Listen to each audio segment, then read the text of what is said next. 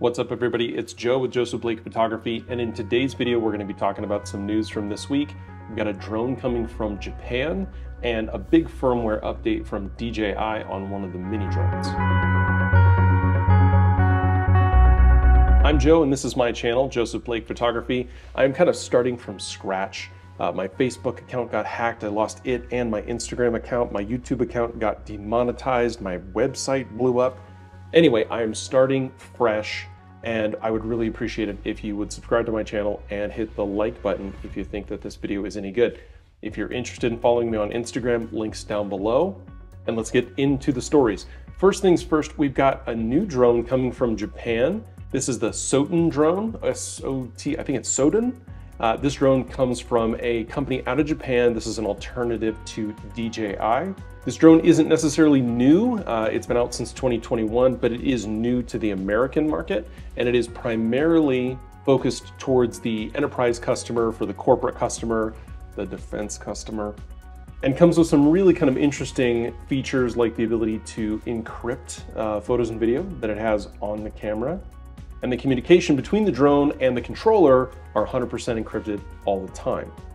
Again, this is primarily focused towards the enterprise and corporate customer. One of the features that is really cool on this drone that is big if you are an enterprise corporate customer, if you're doing surveying or inspections or something like that, is that the image module, the camera module can be removed.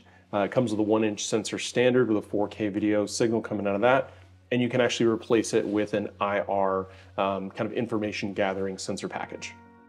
One other kind of interesting and unique feature about this particular drone is that it actually uses LTE technology to communicate, which means that it can, via the internet, uh, actually access the drone and deploy over long range, where you might need to send a drone into places where you might be doing search and rescue or surveying where you might not always be able to keep line of sight of the drone with the controller and you can continue to operate the drone. Again, that communication is encrypted and the information on the drone can be encrypted.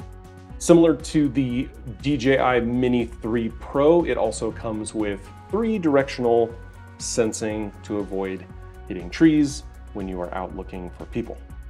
Speaking of the DJI Mini, the DJI Mini 4 uh, just got a big firmware update to add a bunch of new features. The first feature is the Active Shots 360 Auto Mode. Uh, this is a mode that will allow the drone to kind of circle the uh, point of interest or the indicated, uh, whether it's a person or a car or a mountain bike, uh, or anything that it needs to follow, and it can kind of pick the best position uh, based on uh, what it thinks is going to be the, the best image, hence the auto feature. Next is vision positioning. Now, uh, DJI drones come with little cameras on the side. So when you hear about them talking about having uh, position sensing or obstacle avoidance, normally that is done with these little tiny uh, sensor cameras that are on the sides. They're black and white cameras and together they identify objects that are moving uh, closer to the drone that could potentially be a tree or a house or a person or something that it could bang into and uh, potentially crash.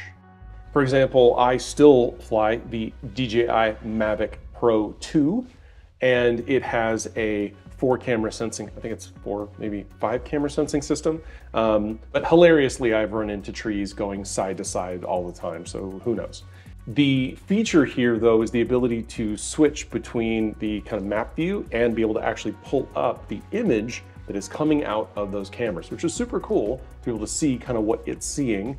Um, although if you're watching all four cameras and trying to avoid, I, I don't know. Other than this just kind of being cool and novel, let me know down in the comments how you would practically use this uh, if you were using the drone for cinematic shots, let's say, or for exploring, to help you not hit a tree, unless you're just watching the tree all the time, in which case, are you flying the drone or are you watching the tree? I don't know. You tell me down in the comments.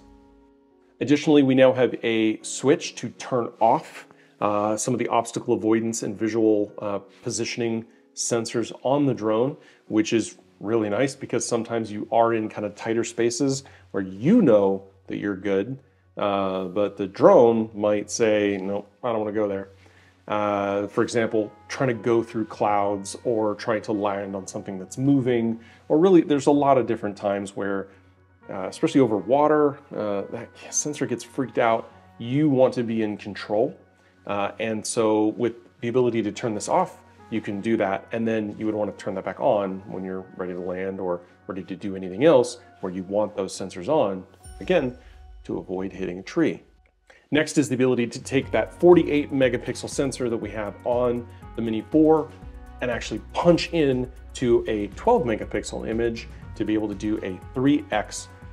It's not really a 3x optical zoom, but it's not really a 3x digital zoom. I guess it is more of an optical zoom. It's a crop. You're effectively cropping for the sake of zoom. Really no different if you were to kind of punch in on a crop mode on a mirrorless camera or on your phone.